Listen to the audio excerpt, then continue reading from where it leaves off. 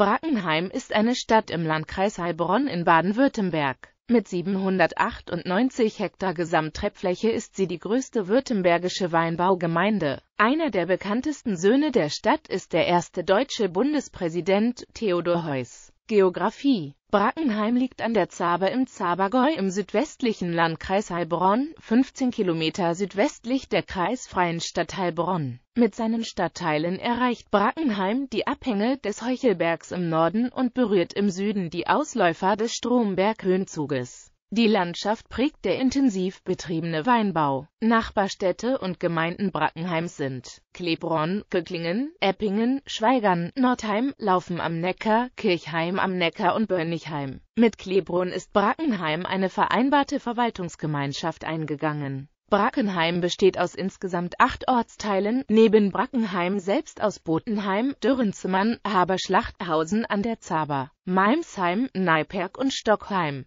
Zu Brackenheim selbst gehören noch die Wohnplätze Bürgermühle und St. Johannesmühle, zu Meimsheim die Wohnplätze Bellevue, Obere Schellmühle und Untere Schellmühle, zu Neiperk Schloss und Hof Neiperk, zu Stockheim Schloss und Hof Stocksberg.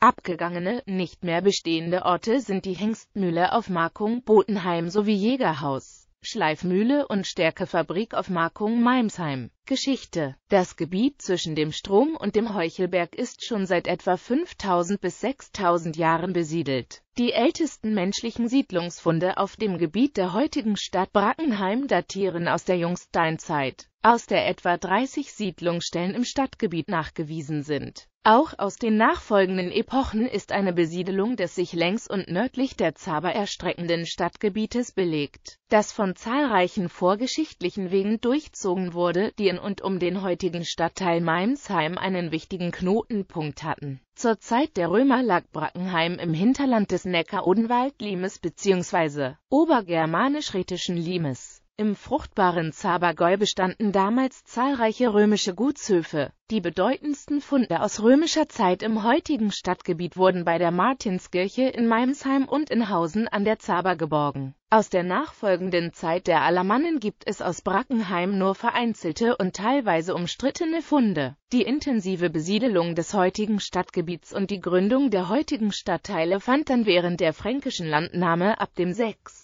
Jahrhundert statt. Der Stadtteil Meimsheim wurde 788 im Lorscher Kodex erstmals erwähnt, es folgen 793 94 Botenheim und Frauenzimmern oder Dürrenzimmern. Ein Zahlsolf von Brackenheim wurde im 12. Jahrhundert im Hirsauer Kodex anlässlich einer Schenkung von Gütern in Botenheim und Meimsheim erwähnt. Der Ort Brackenheim wird in einer Urkunde Erkingers von Magenheim von 6. Oktober 1246 erstmals genannt. Die Herren von Magenheim sind ein spätestens seit 1147 nachweisbares Adelsgeschlecht mit umfangreichen Besitztümern in Kraichgau und Zabergäu und mit Beziehungen zum Bistum Mainz, Bistum Speyer, Bistum Worms, zu den Staufern und auch zu König Rudolf I. von Habsburg auf die Magenheimer, die eventuell auch schon auf einer durch den Gewannamen Burg nachgewiesenen alten Burg einen Sitz hatten geht der Ausbau des Ortes Brackenheim zur Stadt zurück. Der bestehende Ort wurde dabei planmäßig erweitert und nahezu rechteckig ummauert. Außerdem wurde dabei ein neuer Herrensitz innerhalb der Stadt errichtet, auf den das heutige Schloss zurückgeht die älteste Erwähnung als Oppidum datiert auf 1279. Das Stadtrecht wurde durch Rudolf I. förmlich am 29. Mai 1280 verliehen. Mit der ersten Erwähnung des Marktus in Richtung Neiperk im Jahr 1301 gilt der Abschluss der Ummauerung der Stadt als belegt. Die Stadt ist bis ins frühe 20. Jahrhundert kaum über diese mittelalterliche Umfassung hinausgewachsen durch Erbteilung zerfiel der Besitz der Magenheimer in verschiedene Teile. Um 1280 erhielt dabei Eckinger III. von Magenheim die Stadt Brackenheim mit Zugehör. Nach 1287 teilten dessen Söhne den Besitz nochmals auf. Über weitere Erbgänge kam eine Hälfte von Brackenheim an Graf Burkhard von Hohenberg, der seinen Besitz in Brackenheim, Magenheim sowie auf Burg Blankenhorn 1321 an Graf Eberhardi von Württemberg verkaufte. Dessen Sohn Ulrich III. veräußerte den Besitz in Brackenheim zwar 1327 an Erzbischof Matthias von Mainz Jedoch erlangte Württemberg um 1356 den Besitz an jener Hälfte der Stadt zurück.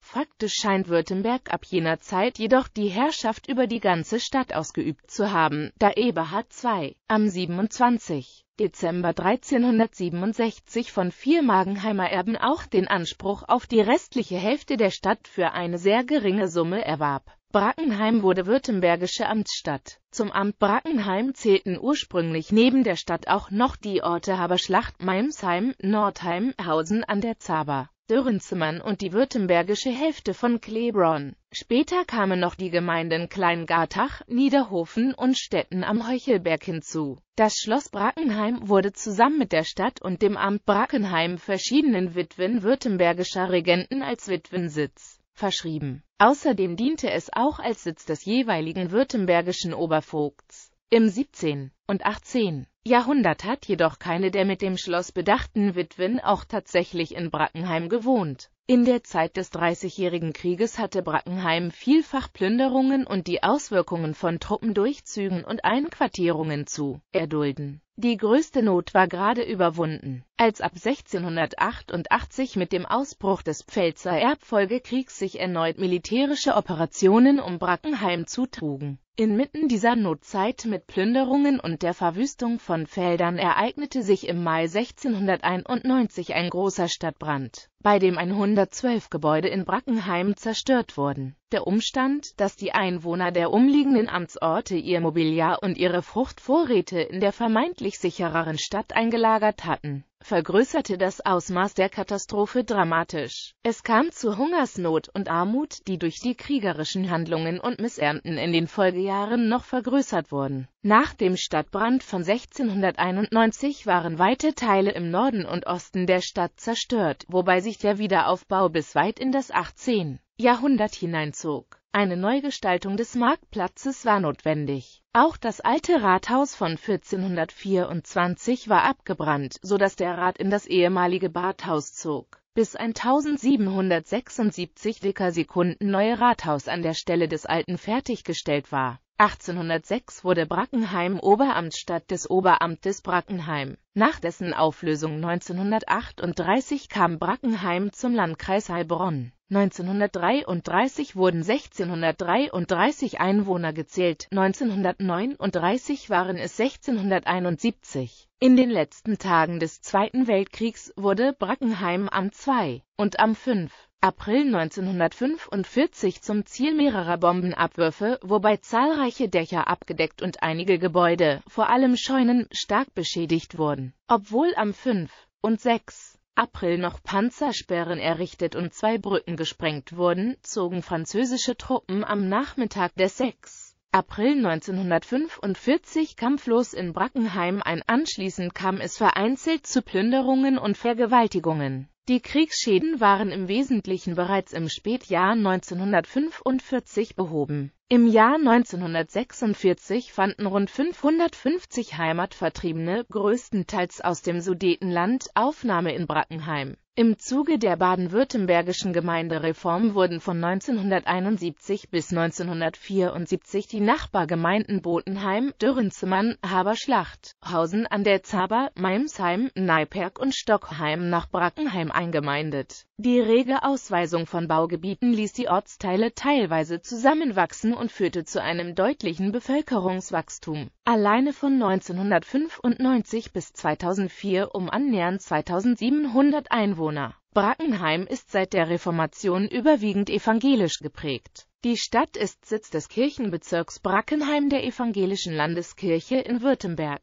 in Brackenheim, Botenheim, Dürrenzimmern, Hausen, Meimsheim und Neiperg gibt es eigene evangelische Kirchengemeinden, Haberschlacht und Stockheim haben eine gemeinsame Kirchengemeinde. Brackenheim ist auch Sitz des evangelischen Bezirksjugendwerks Brackenheim, das als Teil des evangelischen Jugendwerks in Württemberg für die Jugendarbeit in den Kirchengemeinden des Kirchenbezirkes Brackenheim zuständig ist. In Stockheim gibt es die katholische Kirchengemeinde St. Ulrich, die auch Haberschlacht und den Eppinger Stadtteil Kleingartach umfasst. Neiperg gehört zur Kirchengemeinde St. Martinus in Schweigern. Die katholische Christuskönig-Gemeinde in Brackenheim entstand im Wesentlichen durch den Zuzug von katholischen Heimatvertriebenen nach dem Zweiten Weltkrieg und umfasst die restlichen Brackenheimer Stadtteile. In Brackenheim sind auch eine evangelisch-freikirchliche Gemeinde und die Zeugen Jehovas vertreten. In Botenheim die evangelisch-methodistische Kirche und in Meimsheim die Neuapostolische Kirche. Politik Nach der Kommunalwahl vom 25. Mai 2014 hat der Gemeinderat Brackenheims 30 Sitze. Das Wahlergebnis lautete wie folgt. Weiteres Mitglied des Gemeinderates und dessen Vorsitzender ist der Bürgermeister. Nach der Kommunalreform gab es ab 1974 in einigen der Brackenheimer Ortsteile Ortschaftsräte und ehrenamtliche Ortsvorsteher, in anderen nicht. Um möglichst eine Gleichbehandlung aller Ortsteile zu erreichen, hatte der Brackenheimer Gemeinderat in einem Entschluss vom 29. Januar 2004 die Ortschaftsräte aufgefordert, sich bis zum Jahr 2008 zugunsten sogenannter Gesprächskreise, wie sie bereits in den anderen Teilorten bestanden, aufzulösen. Der letzte Ortschaftsrat in Haberschlacht löste sich 2009 auf es gibt nun in allen Ortsteilen und in der Kernstadt sogenannte Gesprächskreise. Die Mitglieder des Gemeinderates beschlossen am 3. Juli 2014 mehrheitlich die Neufassung der Hauptsatzung der Stadt Brackenheim und damit die Aufhebung der unechten Teilerzahl ab der nächsten Wahl des Gemeinderates in Brackenheim 2019. Die künftige Sitzzahl der Mitglieder des Gemeinderates wird ab 2019 auf 22 Sitze festgelegt. Wappen und Flagge Die Blasonierung des Brackenheimer Wappens lautet in Rot ein stehender, silberner Bracke mit schwarzem Halsband und silbernem Leitring.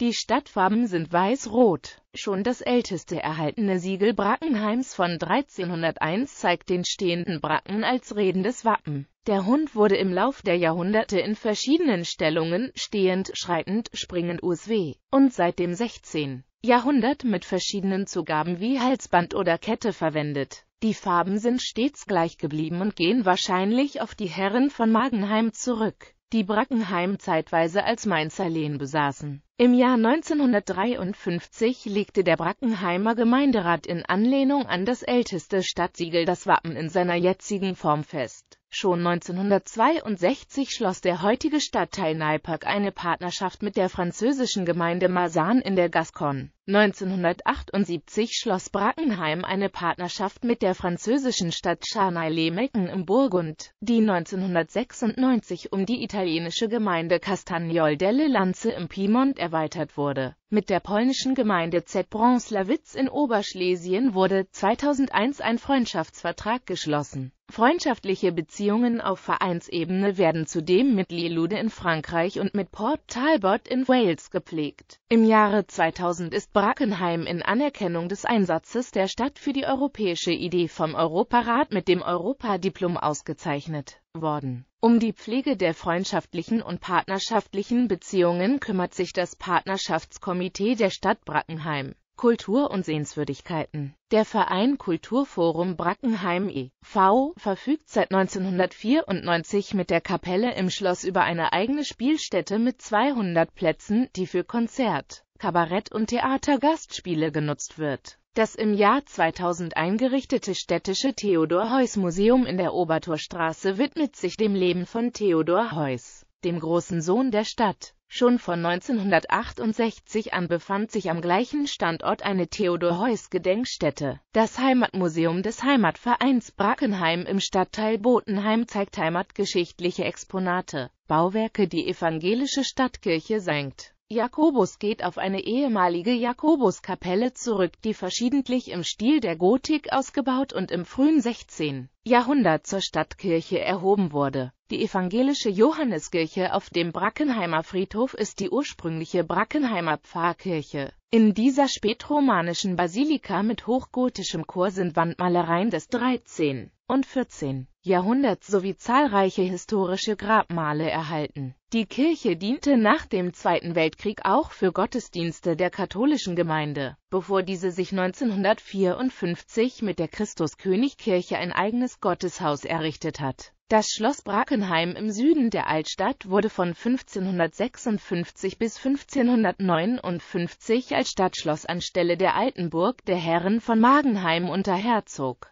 Christoph von Württemberg durch Baumeister Martin Berwart erbaut. Der dreiflügelige Bau diente als württembergischer Witwensitz Nach einem Brand 1670 wurden der Westflügel und der nördliche Querflügel von 1677 bis 1685 durch Baumeister Weiß wieder aufgebaut, wodurch das Schloss im Wesentlichen seine heutige Gestalt erhielt. Später war das Gebäude Wohnung des Obervogts und Amtssitz. Derzeit ist nur noch das Amtsgericht im Schloss untergebracht. Das Obertorhaus war von 1828 bis 1907 Oberamtsgefängnis. Seit 1968 befindet sich in dem Gebäude die Theodor-Heuss-Gedenkstätte, welche im August 2000 in neuer Gestaltung als Theodor-Heuss-Museum wiedereröffnet wurde. Gegenüber dem Obertorhaus befand sich das Geburtshaus von Theodor Heuss das 1950 51. dem Bau der bis 1975 betriebenen und heute als Stadtarchiv genutzten Weingärtnergenossenschaft weichen musste. An dieses Gebäude erinnert nun ein Gedenkstein. Stadtkirche St. Jakobus Innenhof des Stadtschlosses Obertorhaus Theodor Heuss Museum das Rathaus ist ein 1774 erbautes Gebäude im Stil des Rokoko. Es steht an der Stelle eines 1424 errichteten Vorgängerbauwerks und wurde 1954 umfassend renoviert. Das neue Bad war von 1400 bis 1530 zunächst ein Beginenhaus, wurde 1576 zum Stadtbad umgebaut diente nach dem Brand von 1691 als Rathaus bis 1776 und ist seitdem Geschäftshaus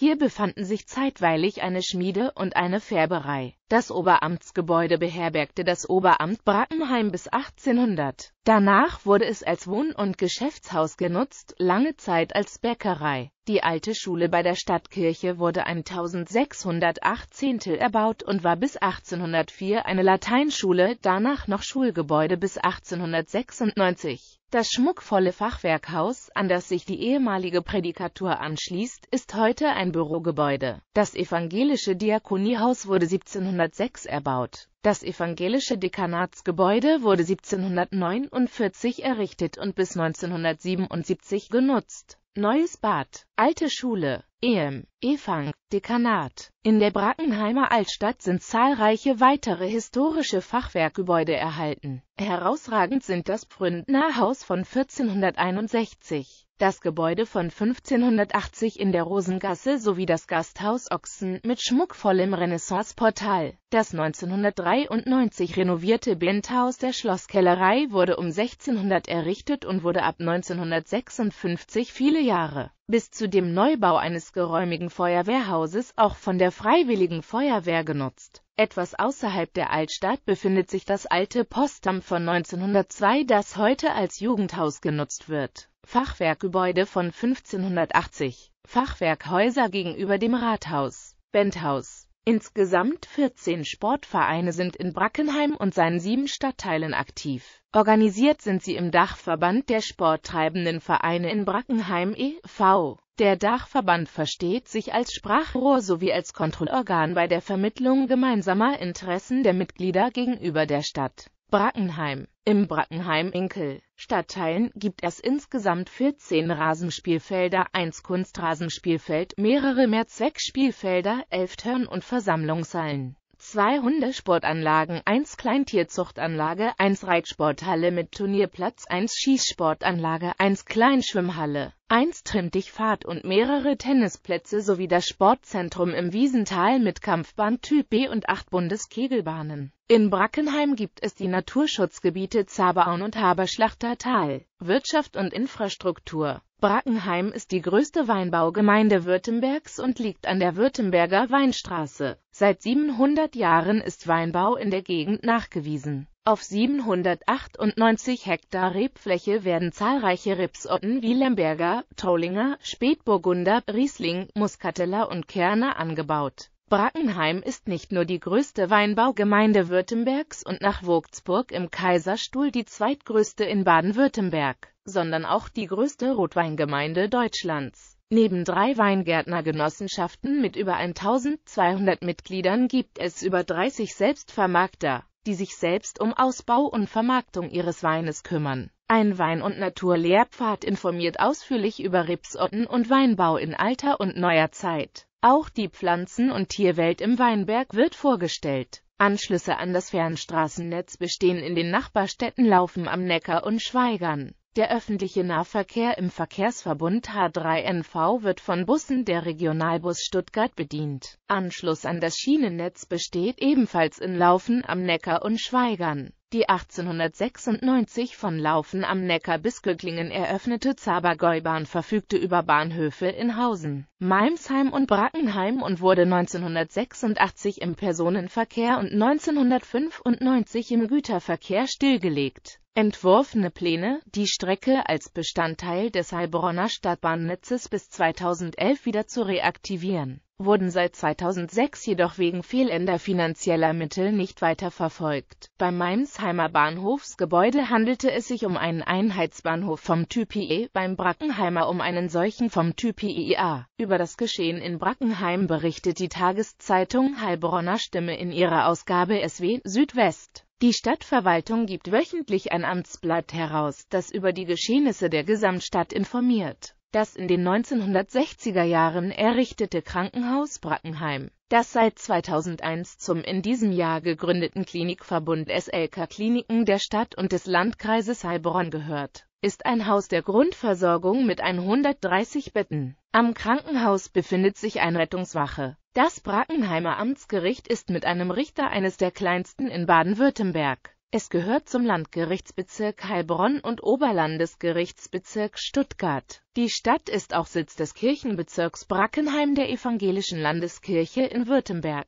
Die Theodor-Heuss-Schule in Brackenheim ist eine Grund- und Hauptschule mit Werkrealschule. Jeweils eigene Grundschulen gibt es in Botenheim, Dürrenzimmern, Hausen an der Zaber, Meimsheim, Neiperg und Stockheim. Das Zabergäu-Gymnasium Brackenheim wird von über 900 Schülern aus den Städten und Gemeinden des Zabergäus besucht. Darüber hinaus ist in Brackenheim auch die Henry-Miller-Schule angesiedelt. Des Weiteren unterhält die Volkshochschule Unterland eine Außenstelle in Brackenheim. Die Stadtbücherei Brackenheim mit über 22.000 Medien steht allen Einwohnern zur Verfügung. Persönlichkeiten, Söhne und Töchter der Stadt Wilhelm Beidenbach, Theologe und Geistlicher Bernhard Schafferlitzky von Mokadell, schwedischer Generalmajor und Württemberger Diplomat. David Christoph Seibold, evangelischer Theologe und Hochschullehrer. Karl-Heinrich Köstlin, Professor für Naturgeschichte an der Hohen Karlsschule Stuttgart. Georg Emil von Meyer, geboren in Neiperk, württembergischer Stadtdirektor und Regierungspräsident. Theodor Möckling, Seidenbaufachmann, Politiker und Revolutionär.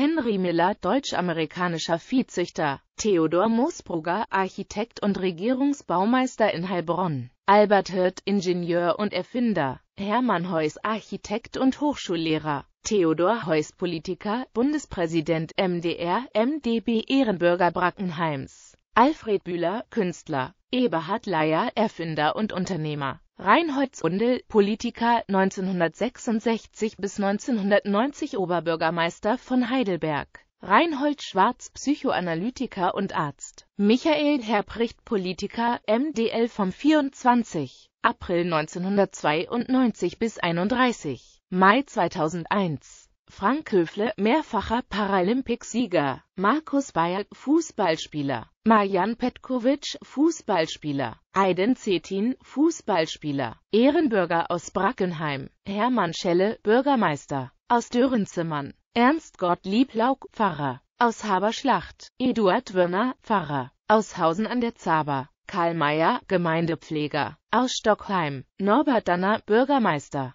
Aus der Gesamtstadt Brackenheim. Karl Lang, geschäftsführender Gesellschafter der FH. Gustav Rieck-Singersen. Karl Seither, Konrektor I. R. Sonstige mit der Stadt verbundene Personen Sadok Seli Soltan, türkischer Offizier und möglicher Goethe-Vorfahr